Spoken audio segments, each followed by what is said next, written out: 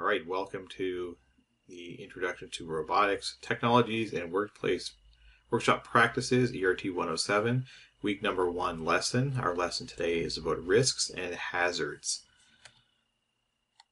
So let's look at a video here. Sometimes we're going to start off with a little video or something like that. This here, we got some guys working inside of a stamping press, moving parts around. This is a good example of an unsafe work environment. So these are the kind of things we are going to examine, probably not into this extreme circumstance, but conditions like this and try to identify what are the hazards, what are the risks, and how can we avoid things like this? What measures can we take to avoid things like this? Okay, that is what the first part of this course is going to be about. So, layout for today what is a hazard, what is a risk, and we're going to talk a, a, as well what is your lab going to be about. Uh, so, some terms you're going to get familiar with today hazard, risk, adverse health effect, acute versus chronic, entanglement, abrasion, shear, nip point or pinch point or draw in, a puncture or stab, an impact, and a crush. We will define what all those things are. So starting off with a hazard. What is a hazard? Hazard, definition for that is going to be any source of potential damage, harm, or adverse health effect. The direct of the effect, the, direct effect that can cause harm. So a hazard, uh, anything that is a source of potential potential damage. So when we look at back at that case of that stamping press, the ram of the press moving up and down, that ram is a hazard. Okay, so anything that can cause harm is considered to be a hazard. The source of the harm. What is an adverse health effect? Any change in body function or structures of cells that can lead to disease or health problems. Injury, disease, genetic effects, decrease in lifespan, change in mental conditions such as stress, anything like that. So any kind of, uh, basically any kind of bad thing that happens to you physically or mentally. So adverse health effect, that could be a broken bone, it could be cancer, it could be stress, it could be uh, carpal tunnel syndrome, anything like that. These are all considered to be adverse health effects. These are all caused by various hazards. Does exposure to hazards always cause adverse health effects? So not necessarily. It's going to depend on what hazards are present. It's going to depend how a person is exposed, uh, what kind of effect result from a specific exposure a person has experienced, the risk or likelihood that the exposure to the hazardous thing will cause injury or disease or some incident causing damage, and how severe would the damage or injury be. So, for example, if we look at being outside on a very sunny day, uh, ultraviolet light or sunlight is a hazard. It can cause sunburns, but if you go out for five minutes, that is not going to necessarily cause you an adverse health effect.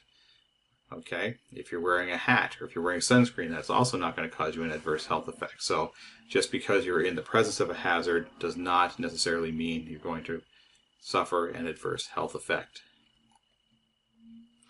So, effects may be acute, meaning that the injury or harm can be felt as soon as the person comes in contact with the hazardous agent, or it could be chronic, which means it's delayed. Okay, so an example here, let's say cutting your finger with a knife. That would be a an acute injury. You're going to feel that right away. The effect is going to happen right away. Something that is more of a chronic uh, health effect. This could be something more like carpal tunnel syndrome. If you are using a mouse for all day long, every day at your job, you might feel that your, your wrist starts to ache or you cause damage to your wrist. After a while, that would be more of a chronic or delayed uh, adverse health effect. So that's the difference between acute and chronic. And once a hazard is removed or eliminated, the effects may be reversible or irreversible. So taking the hazard away immediately might fix the problem. uh, or it, the damage could be done and you don't get it. You don't come back from that. Uh, hazard can cause injury that can heal completely, or the result could be untreatable, such as a disease. So, why do hazards exist? Why do we have these hazards in our work environments? Uh, sometimes they're just there and there's no way around it. They have to. Sometimes they exist because standards have been ignored or bypassed. Uh, sometimes it's because defective or inadequate design, engineering, or manufacturing. Sometimes hazards exist because people have not been trained properly. Sometimes we have poor or inadequate maintenance, and sometimes it's just operator error. Okay, so lots of different reasons why we have hazards occurring. Okay, so for example, let's take driving in a car and look at the hazards that go on there. Uh, if you are driving in a car on a two lane road, there is oncoming traffic. Oncoming traffic is a hazard, but there's really not any way around that. Okay, so sometimes that's just a hazard that you need to accept the risk from that hazard. Okay. Uh, and you can see where all these other ones come in there. But basically, uh, if you want to relate this to driving, operator error, that could be someone driving on the wrong side of the road. Poor and inadequate maintenance, that could be a poorly maintained car that's falling apart. Uh, insufficient training, that could just be a bad driver on the road. Defective or inadequate design, that could be a poorly designed car that falls apart. Maybe you're having a, a recall situation or something like that, presenting additional hazards. Or standards are being ignored or bypassed. Maybe the car was built but not didn't follow required safety standards. Maybe it doesn't have airbags, doesn't have seat belts or something like that. They didn't follow these standards that were supposed to be in place for it.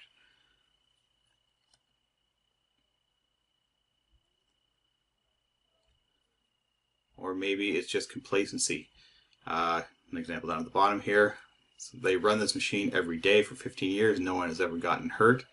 That could be an excuse for why people don't pay attention to things because it has never happened before. That doesn't mean that it will not happen, it just means that it hasn't happened yet. So it's the different types of hazards we're going to see.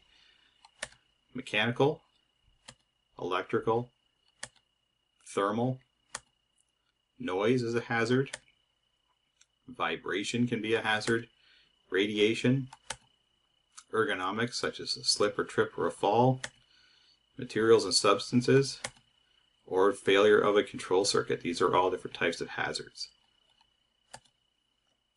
So, what I want you to do now, uh, normally in the class we would do this as a group exercise. We break up into little groups and do this for a couple of minutes. What I want you to do, you can just do this on yourself just after you read this here. So just stop the video.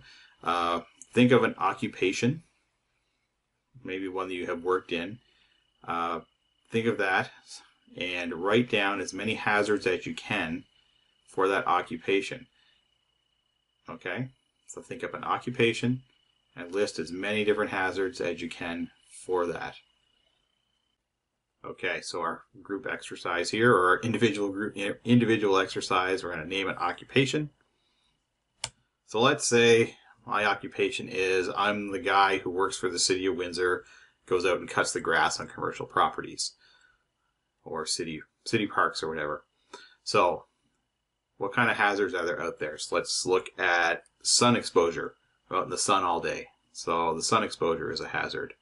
I'm working a big lawnmower, so the blades of that lawnmower are definitely a hazard.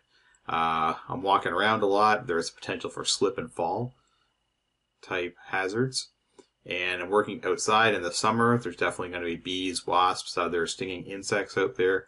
Those would all be different types of hazards as well. Okay, so lots of different hazards on that type of job.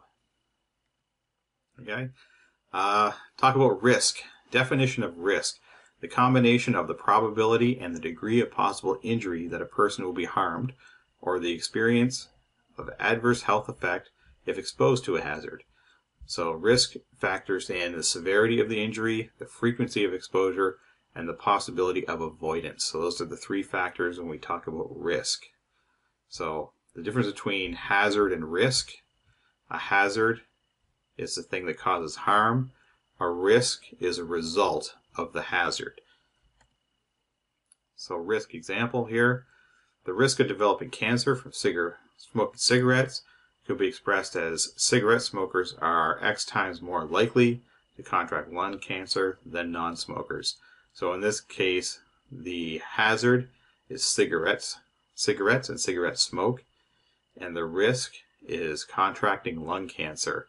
And we can talk about that risk as uh, the severity of the, the severity or then the probability of getting lung cancer. Okay, so let's look back to what we listed there as our job or occupation, and let's think of all the risks that would be associated with each one of those hazards that we listed. So if you want to pause here and uh, do that yourself. So for the ones that I had, for sun exposure, possible risks there, you've got sunburn, burns, heat stroke. Those are all possibilities. Uh, for the lawnmower blades, you got cuts, lacerations. Those are all risks that can be associated with that hazard. Slip and falls, you have bumps and bruises, broken bones. And for all the stinging insects, welts, possible ability of allergic reactions as well. Okay, so those are all hazards that cause those risks and they each have different consequences and different possibilities as well. All right, let's look at this picture here. Try to think of how many different hazards and risks you can see here. So we've got Homer here. He is handling plutonium without any protection on here. So the plutonium is a hazard the risk is probably radiation poisoning associated with that hazard. We have a fall from a height over here. We have Lenny and Carl working on a ladder. Uh, so, fall from a height or working at a height is the hazard. And then a fall, broken bone from a fall could be the risk here. Here's another picture risks and hazards here. There's lots of them going on in this picture. So again, we have fall from a height. Don't have a very good no ladder here or no tie off. We have a guy trying to clean off his clothes with compressed air. Uh, as we talked about in the shop rules, you're not allowed to do that. We have a frayed electrical wire here. So damaged equipment would be a risk, sorry, a hazard. The risk would be electrocution from that. We have here an abrasion hazard. Risk would be uh, getting an abrasion from that hazard. We have a guy welding right beside some flammable barrels. Uh, the hazard would be uh, an explosion, and the uh, the risk would be basically death from explosion. Uh, and then we have someone picking up a heavy load without bending their knees. So this would be an ergonomic risk, and that's ergonomic hazard, and the risk would be uh, back injury due to lifting. Okay, so lots of different hazards and risks in this picture. And then let's look for some very specific mechanical hazards here and what they mean. So the first one is entanglement. So this is contact with a rotating surface. So anytime you are working with something that spins, there's a, a possibility of entanglement. This is why we have rules against long sleeves in the shop, long hair in the shop, no wearing things around your neck. These are all entanglement hazards. So this would be things getting caught on something that is spinning and then pulling you into that. That is the symbol for entanglement, which is pretty awesome. Or that one. So a lathe is another one. Drill press, definitely an entanglement hazard. A crush, these are symbols for crush. This is where you have one part of a machine that is moving and another part that is stationary and you're getting caught in between. That is a crush injury or a crush hazard. A shear uh, to cut or force apart. An example would be scissors. Basically, you have two moving pieces moving in opposite directions and getting caught in between. That is a shear hazard. An auger is another good example of this. An impact, blunt force against the inertia of the body. So getting hit by a robot arm. So something that is heavy and moving fast can cause an impact. A draw in or a nip point. Draw in leads to entanglement. So you can see here where we have a two pulleys with a belt going around them. If this is not guarded, this creates a nip point. So if you get stuck, if you get a finger stuck in here, you will get drawn in and caught in between that pulley and belt. A puncture or stab, penetration by a sharp object such as a nail gun, sewing machine, drill press. Friction or abrasion like a grinder.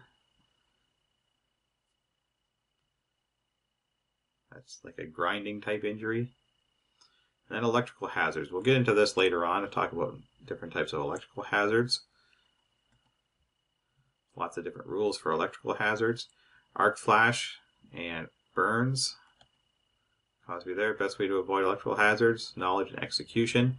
And then next week we'll be talking a lot about this risk assessment chart and how to reduce and avoid risk. Okay. Now, what are we going to do in the lab this week? Or in the lab, the first half of the lab, you'll be working with a drill press. Okay, so you'll be learning about the drill press and how to use it safely and how to do some different machining operations. So what you'll be doing, you'll be using this drill press. And you'll be making a little project that looks like this. So there's a couple different functions that'll be going on here. Uh, there'll be some reaming, uh, countersinking, counter boring, drilling. All these different operations, tapping holes as well. So you'll be learning all about this different terminology, how to lay these things out, how to use each of these safely. Okay, so that is what you'll be doing in the lab. All right, so that is it for the lesson for week one. At this point, uh, we'll do another little video here on how to do the assignment. Uh, and that will be it for week one. Good luck.